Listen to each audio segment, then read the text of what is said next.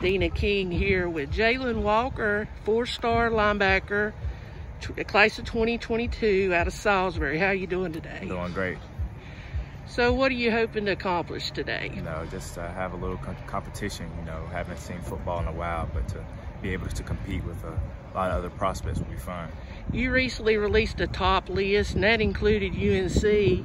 So where, what do you like about UNC? I love the program, what Coach Brown is doing with it, moving into a great program. Uh, I watched them yesterday go 1-0 uh, for the beginning of the 2020 season, so I'm very excited for all that. And who's in contact with you? Coach Bateman, Coach uh, Thigpen? Everybody there is. Coach Thigpen, Coach Bateman, Coach Brown, uh, Coach Galloway as well. So uh, you, you, mentioned watching them. How was it like watching their linebackers in action? Because they got a couple of good ones in Chaz Surratt and Jeremiah Gemmel.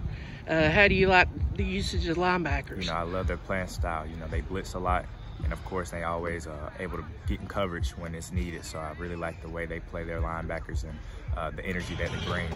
Now you, you did list a top list. Uh, are you going to narrow that down and possibly early commit? I know you're still a junior, but with a pandemic, uh, what's your plans? You know, once uh, I feel comfortable, I might lower my list down uh, later on in the year.